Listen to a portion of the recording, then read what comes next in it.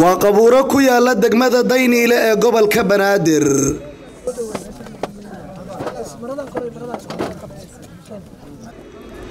Waxaa lagu aasayaa oo wakhtigeedii uu soo idlaaday. Salaado faarax oo ka mid ahayd dadka reer muqdisho.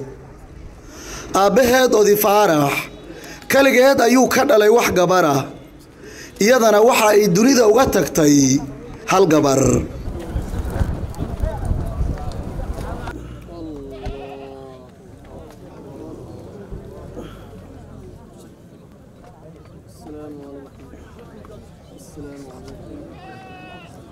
xalay ayay ku geeriyootay sida la sheegay.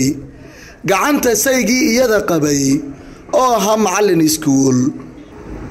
Dad badan oo ka naxay geerida gabadhan ayaana qabrigeedii soo xaadiray.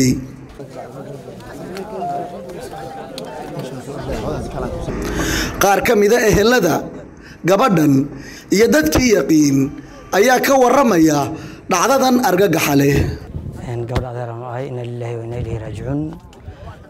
Salaado faarax cali faarax ayaan le adeeran u ahaa ilaahay haddaan u naxariisto kule adduunyadan lama joogaayo kullu nafsi daa'iqatulmowt wa innamaa tuwaffawna ujurakum yawma alqiyaamati faman zuxzixa can innaar wa udkhila aljannata faqad faaza wama alxayaatu dunya ilaa mataacu lguruur marka naf waliba way geeriyoonaysaa waxay dhaceen way dhaceen gabadha kule adeeran u nahay samar howshaas way dhacday shalay gal way dhacday xalay aan liigu soo wargelshay marka saakan shaqadii ayaan ka soo tagay duugti sidaas ayaa uga soo qayb galay. Waxaana soo haleeshay geeri naxtin badan. Gabadhana eedaan u ahay. Waa madi. Hal gabarna waa haysataa. Ninkeedaa arxan la'aan u dilay. Fahante dhowr biloodna way colaadaa dhexe taallay gabadha gurigay noo joogtay gabar kalaa taleefon u soo dirtay gabadhi kalaa shirqooshay gurigay ugu geysay si xunuu u dilay. Madaxana waa masaaro uga dhudhuftay waa ceejiyey waa xirxiray iyadoo dhar la'aan bannaanka u soo run ahaantii geerida naxdinta le waxaa maqalnay xalay maqribkii kabacdi ilaa haddana qof xog rasmiya noo sheegta maarag aniga waxaa ka mid ah dadka deegaanka. Qofba wuxuu doonoo kuu sheegaa marka ilaa hadda wax fadhi yani oo qaadan karna ilaa hadda qof qaabka ku dhimatay markaa wareysto qofba hadalka doona kuu sheegaa marka waxaa leeyahay walaashay gacan ka xaqdarna kula dedishay naxariistii janna allah siiyo u tacsiyanaya anaga guryaheynaan ku jiro la'nahay caloosha dhan aanu huroobayso waxa leela dilaa qof tiiraba u dhimatay ma diidani laakiin qof silac loo dilay aad iyo aadaan ugu xunnahay. Waa waxaan ka xunnahay. Waxaan ku dhaha nin kasta waa hadlaa haddoo hadla kabacdi afkaa loo buuxiyaa cadaalad ma jirto qofti qof dishoo la dilaayo weli ma arkin. Waxaan ku dhaha taas aad iyo aada ugu qiiro ahaaso dowladda soomaaliyeed waxaa ka codsaha sida ugu dhaqsiyaha badan leh inay waxaan dhan ay ka wada hadlaan. Cadaalada ma jirto. Cadaaladda la soo istaajiyo. Qofta dhibta geysata la soo istaajiyo. Dowladda soomaaliyeed aad iyo aada ugu codsanaa guryaheena waa ku jiri laanahay. Qofti beriga saas la yeelo oo walaashaa eh oo gabar habaryar ah u tahay beri ma moogid adi lagu yeelaayo. War waxaan laga kacdoomo ha laga wada hadlo. Sharciga islaamka ma qabyo waxaan ku dhaha dowladda islaam. Ee haddee tahay dadka maxaan ku dhaha dadka wax geysanaayo hala baadi koobo hala keena dirka. Ilaahay subxaana wa tacaala wuxuu yidhi qofti qof disho waa in la dilaa. Waxaan ku dhahaa nala goo dadka halaga gooyo qof qof disho haddii la dili lahay qof qof disho ma aan la arki lahaynin dhacdadan allah u naxariisto walaashaan dhehena dhacdadan waa dhacdo xanuun badan oo soo laaban doonin. Wallaahi bilaa aniga markii lii sheegay waa ka naxay. Inkastoo hadda ka hor mar asiga aa u doodayna aa u tagnay meesha aan tagnay oo eryadalah iska fur oo dhahay iska furi maayo ama ayadeed dhimanayso amaana dhimanaya qof kale macarfanayso oo hore u dhahay. Shalay ayaa waxaa dhacday in la shirqoolay markii la shirqoolay ilmihii ay salaantay ilmihii ay guri joogeen ay salaantay gudahay gashay. Gudaha magiisha wixii lagu sameeyey waa lagu sameeyey. Ninka wuu soo baxay.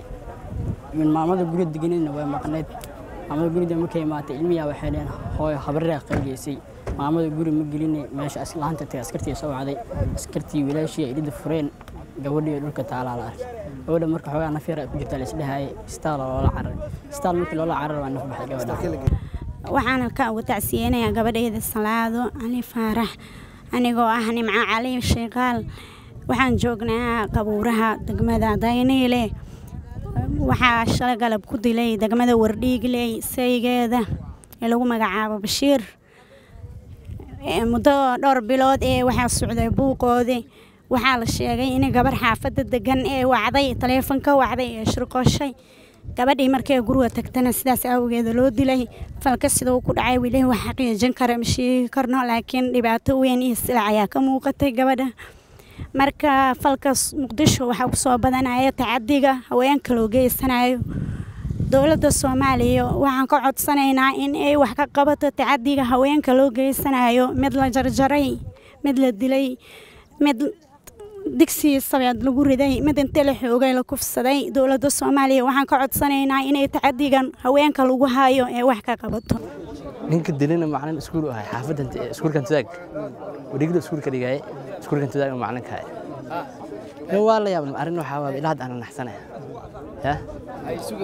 Wanaagii meesha ninkii markaa aragno fadhiga ugu kici jirnay. Amaanta baada gowaya taas la yaabna noqota arrin farxun ahaa arrin la fili waaba nin dhan oo macalin iskuulka ahay oo wanaag lagu yaqaanay. Amaanta waxaa loo yahay gacan kudhiiglo haltaadii gabadha walaalkeeda ahay adeerkeeda dhale ayadana waa maxaa la dhahay salaada faarax cali faarax. Koley in yacni gacan ka xaqdaran ee dishi waa loo jeedaa. Falkani shalay uu dhacay fal xumoona ahaay. Waxaan intaas kadib codsanaynaa in cadaalad ay hesho walaashayna. Wax kale hadda leenahay ma jirto. Asalaamu calaykum. Inkasta uu alle ku cilmi badan yahay wixii u dhexeeyey marxuumad salaado faarax iyo saygeeda haddana waxaa lagu warramayaa inuu jiray khilaaf muddo dheer soo jiitamayey oo labadooda u dhexeeyey waxaana ugu dambeyn la sheegay in khilaafkaasi ay ku sababsatay gacantiisa. Cabdishakuur shashaa warbaahinta city muqdisho